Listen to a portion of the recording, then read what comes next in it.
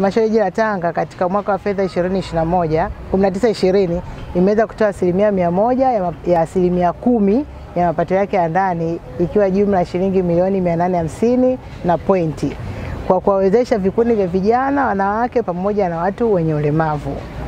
Kwa, kutimi, kwa hiyo kwa, kwa maana hiyo halmashauri jiji la Tanga imetimiza ile sheria ya asilimia kumi kwa kutenga mapato katika mapato yake ya ndani lakini pia vile vile kuna changamoto moja ambayo watu ili kundi maalum linapata hususan vijana, wakati wa kuchukua mikopo wanakuwa ni wachache, na ndio maana hata katika hii mara ya mwisho vikundi vya wanawake ni ishirini na nane, vijana vitano, pamoja na watu wenye ulemavu vitano, lakini ukiangalia asilimia ya utoaji wa fedha asilimia nne wanawake, asilimia nne vijana. So ukichukua vikundi ishirini na nane na vitano, hapo kunakuwa kuna gap kubwa. Kwa hiyo vijana tunawahamasisha wahamasike kuingia katika vikundi vyenye uaminifu. Wachagueni vijana waaminifu, watafute shughuli ya maana ya kufanya inayoonekana ambayo itawatoa pointi moja kwenda pointi nyingine. Isiwe fedha wakipewa wanagawana, hela wafanyie biashara inayoonekana na inayokuwa.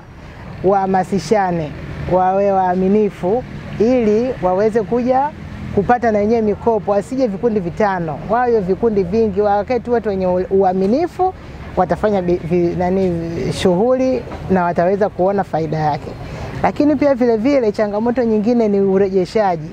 Kundi la wanawake wanahamasika sana katika urejeshaji wa mikopo, lakini vijana wanarudi nyuma. Kwa hiyo tuwahamasishe vijana, unaporejesha ndivyo unavyozidi kupewa zaidi lengo la kukutana nao kwa sababu nataka kutoa mikopo. Tunapotoa mikopo, lazima tukutane nao makundi ili tuweze kutoa elimu mbalimbali ya, kuweza kutumia ile mikopo.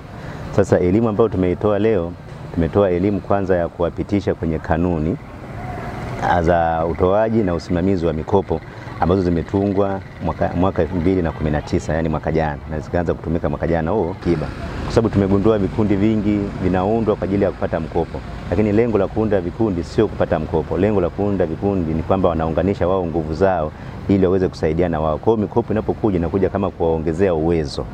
Kwa tukaamua tutoe hiyo elimu sasa ya utunzaji kumbukumbu, lakini pia uwekaji wa akiba wao kama wana vikundi wa kuchangishana zile hela walizonazo. Sasa baada ya kutoa mafunzo hayo yote, mwisho tunawapitisha kwenye ule mkataba. Ule mkataba ni makubaliano kati ya halmashauri na vile vikundi husika. Kwa hiyo tutasainiana leo mkataba na kesho nadhani zile hela tayari zitakuwa zimefunguliwa kwa ajili ya wana vikundi kupata hela. Sasa niseme labda kwa ujumla leo tumetoa shilingi ngapi? Tumetoa kiasi cha shilingi milioni 335 kwa mgawanyo ufuatao. Vijana ambao ni vikundi vitano wamepata milioni hamsini, watu wenye ulemavu ambao ni vikundi vitano wamepata milioni 32 na wanawake ambao ni kundi kubwa wao wame, vikundi 28 wamepata jumla ya shilingi milioni 253. Kwa ukijumlisha hapo napata milioni 335 ambazo tumezitoa leo.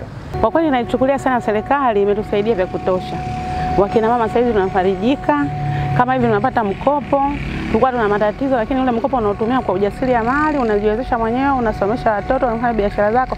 Kwa mfano kama hivi unavyoniona, naona unaweza ukaona kwamba hela inanifaa, ndio vipi nilivyo, si unaona niko chini, niko juu basi pesa ya Magufuli tunaweza kusema CCM, Mungu aiwezeshe, yani isonge mbele zaidi. Hizi pesa zipo na zinaenda kwa utaratibu kamili. Awali yote niseme, nichukue nafasi ya pekee kabisa kuishukuru serikali yetu ya Tanzania, hasa Mheshimiwa mkuu wa nchi e, ninamshukuru sana kwa sababu hii fursa ni, ni ya pekee sana kwa sisi walemavu. Kwa sababu gani?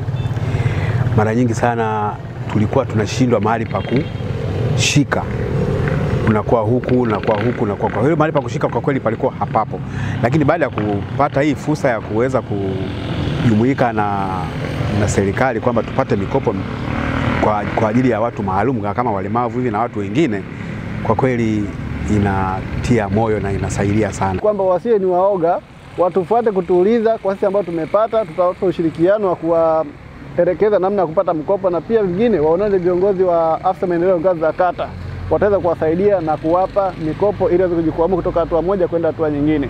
Pia nishukuru sana halmashauri ambayo inasimamia hivi vikundi, wamekuwa ni waaminifu wakitutembelea kila maeneo ya shughuli zetu na kuangalia wamejihisi na shughuli zetu tunazifanya, wakapiga picha na wakaangalia kwa wakaona kama tunafaa. Kwa hata vijana wenzangu wakiomba wajitahidi kuunganika na kuwa na umoja ili waweze kupata mikopo kwa namna wanavyoomba serikali.